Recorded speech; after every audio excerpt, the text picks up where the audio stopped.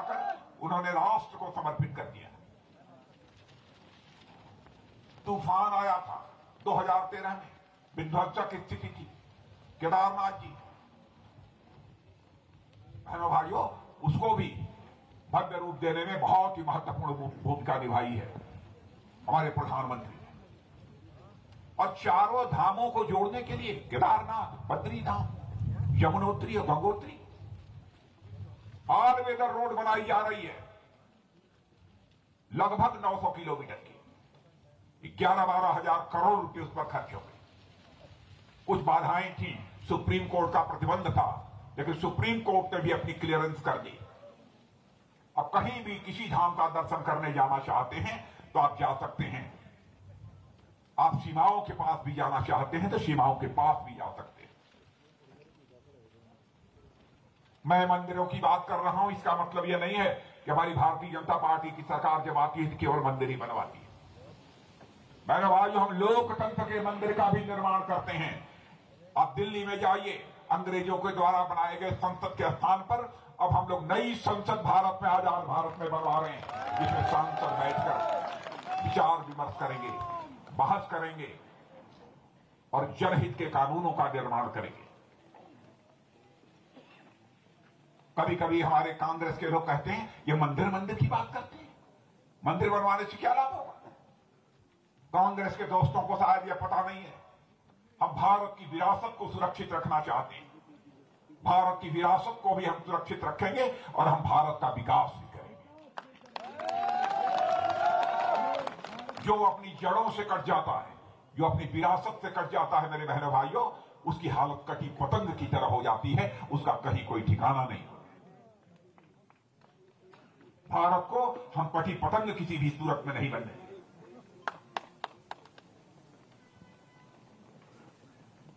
उत्तराखंड की सरकार ने क्या क्या काम किया है, वो तो आप लोग जानते हैं ज़्यादा। मुझसे।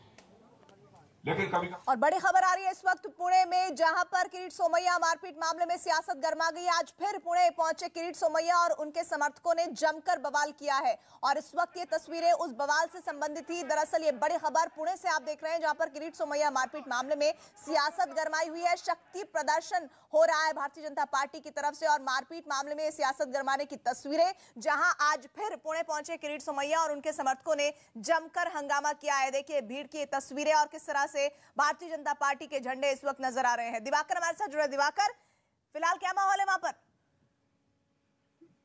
देखिए प्रतीक जी, जिस तरह से किरीट सोमैया पर पिछले दिनों हमला हुआ था, शिवसेना के लोगों से किरीट सोमैया ने आरोप लगाया था, शिवसेना के लोगों ने उन पर हमला किया था, जान से मारने की कोशिश की थी। इसके बाद लगातार आक्रामक है। आज सुबह ही किरीट सोमैया एक बार फिर से पुणे पहुँचे थे और अब पुणे महानगर पालिका के सामने जिस तरह मारपीट की सोमिया के साथ हुई थी, उसी को लेकर जो है ये अब बीजेपी के लोग प्रदर्शन कर रहे हैं और बीजेपी ने खास तौर पर चेतावनी दी थी कि जिस तरह से जेट प्लस सिक्योरिटी होने के बाद भी किरीट सोमैया पर शिवसेना के लोगों ने हमला किया और पुणे पुलिस देखती रह गई, कहीं ना कहीं इसमें सरकार का हाथ है, सरकार की तरफ़ से तय मिली हुई थी शिवसेना के लोगों को जिसके चलते किरीट सोमैया पर हमला किया गया। और ऐसे में बीजेपी इस पूरे मामले को जो है आसानी से छोड़ने के मूड में नहीं दिख रही है, बल्कि सरकार को घेरने की तैयारी है इस संबंध में खुद किरीट सोमैया ने गोपाल शक्ति जो की बीजेपी के सांसद है इसके अलावा खुद बीजेपी प्रदेश अध्यक्ष जो है चंद्रकांत पाटिल उन्होंने गृह मंत्री अमित शाह को पत्र लिखा था और इस पूरे मामले में दखल देने की थी। इस पत्र के बाद केंद्रीय एजेंसी जो है वो पुणे पहुँची थी। वहाँ पर पूरे मामले की जाँच की गई थी और इस जाँच के दौरान जो रिपोर्ट आई, उसको गृह मंत्रालय को सौंपी भी गई है। तो ऐसे में देखना यह अहम होगा गृह मंत्रालय की तरफ़ से क्या इस पर फैसला लिया जाता है। लेकिन फ़िलहाल बीजेपी पूरी तरह से आक्रामक है और किरीट सोमैया खुद आज जो है पुणे सुबह गए हैं और अब बीजेपी के कार्यकर्ताओं के साथ लगातार प्रदर्शन कर रहे हैं। ये जो प्रदर्शन हो रहा है, इनकी मांगे क्या है? क्या चाहते हैं लोग? देखिए साफ़ तौर पर जो किरीट सोमैया ने ट्वीट किया था, कई सारे वीडियो उन्होंने ट्वीट किए थे ट्विटर पर और उसमें उन्होंने कहा था कि शिवसेना के जो कार्यकर्ता हैं और जो शिवसेना के शाखा प्रमुख है, किरण मोरे का नाम उन्होंने लिया था और कहा था कि इनके नेतृत्व में उनके ऊपर हमला किया गया। वीडियो में तमाम लोग दिख रहे हैं, उनकी पहचान भी हो रही है, उसके बावजूद पुणे पुलिस ने किसी को इस पूरे मामले में गिरफ़्तार नहीं किया। हालाँकि पुलिस पुलिस की तरफ़ से आज ये जानकारी सामने आई थी कि इस पूरे मामले में शिवसेना के दो कार्यकर्ताओं को गिरफ़्तार कर लिया गया और बाकी की तलाश की जा रही है। और ऐसे में बीजेपी की मांग है कि पूरे मामले की जाँच की जाए और जिस तरह से अ, जिन लोगों ने किरीट सोमैया पर हमला किया उन्हें गिरफ़्तार किया जाए उनके खिलाफ कड़ी कार्रवाई की जाए किरीट सोमैया लगातार जो है वो ठाकरे सरकार के जो भ्रष्टाचार है उसके दस्तावेजों को निकल रहे हैं और ऐसे में कहीं ना कहीं शिवसेना के जो लोग हैं शिवसेना कार्यकर्ता है वो भी गुस्से में है और इसी वजह से उन पर हमला भी पिछले दिनों हुआ था। और ऐसे में उस हमले के बाद जो दिवाकर सियासी गर्मी है। में किरीट सोमैया से संबंधित जो लोग हैं वो केंद्रीय गृह सचिव से मिले थे और उन्होंने ये उन्हें भरोसा दिलाया था कि जो भी लोग दोषी हैं उन पर कार्रवाई की जाएगी। बावजूद इसके ये प्रोटेस्ट क्यों हो रहा है? देखिए जो जानकारी मिली थी उसके मुताबिक केंद्रीय एजेंसी की जो टीम है वो जाँच करने के लिए पहुँची थी। पुणे पुलिस उनके साथ थी।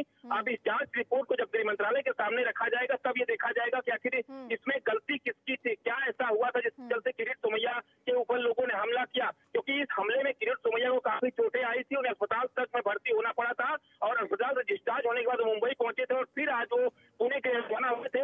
तो सबसे बड़ी बात यही है कि इस पूरे मुद्दे को अब बीजेपी जो है छोड़ना आसानी नहीं चाहती है इधर असम से खबर आ रही है जहाँ मुख्यमंत्री हेमंत बिस्व शर्मा ने हिजाब विवाद पर बयान दिया है। कहा है कि स्कूल कॉलेज पढ़ने के लिए होते हैं ना कि फ़ैशन शो के लिए। यूनिफॉर्म से बराबरी आती है। और इस मामले में जिस तरह से सियासत गरमा रही है उसमें हेमंत बिस्व शर्मा का ये नया बयान। थोड़ा तीन दिन का पहले से तीन चार दिन आप सुन रहा होगा कि कर्नाटक में कोई बच्ची लोग ने शुरू किया कि स्कूल में, कॉलेज में हमको हिजाब पहन के जाना है। मेरा कोई आपत्ति नहीं, आप जो भी पहने। लेकिन आप अगर स्कूल में, कॉलेज में हिजाब पहन के जाते हैं तो कल हिंदू भाई लोग बोलेगा, हम भी कोई ड्रेस पहन के जाएगा। कोई कल क्रिश्चियन लोग बोलेगा, हम भी कोई ड्रेस पहन के जाएगा। अरे भाई, कॉलेज और स्कूल पढ़ने के लिए होता है, वो फ़ैशन शो के लिए नहीं होता है। जब कोर्ट ने प्रतिबंध लगा दिया, ये कट्टरपंथी पूरे देश में। उत्तर प्रदेश, अलीगढ़ से लेके आजमगढ़, सारे जगह, जौनपुर, आजमगढ़ महाराष्ट्र, मालेगांव, पूरे दिल्ली, ये क्या है? ये सोची समझी रणनीति है। पीआईएफ जैसी संस्था जिस पर कहीं केरल ने रोक लगाई है और ये लोग जानबूझ करके पूरे देश में भारत को बदनाम करने की कोशिश कर रहे हैं। बांदा जेल में बंद बाहुबली विधायक मुख्तार अंसारी मऊ सदर सीट से एक बार फिर चुनाव लड़ सकते हैं। खबर है कि समाजवादी पार्टी के साथ गठबंधन वाली ओम प्रकाश राजभर की सोहेल देव भारतीय समाज पार्टी ने उन्हें इस सीट से उम्मीदवार बनाया और जेल में बंद बाहुबली मुख्तार अंसारी के मऊ से चुनाव लड़ने की खबर पर केंद्रीय मंत्री अनुराग ठाकुर ने सोहेल देव भारतीय समाज पार्टी के साथ साथ समाजवादी पार्टी को भी घेरा।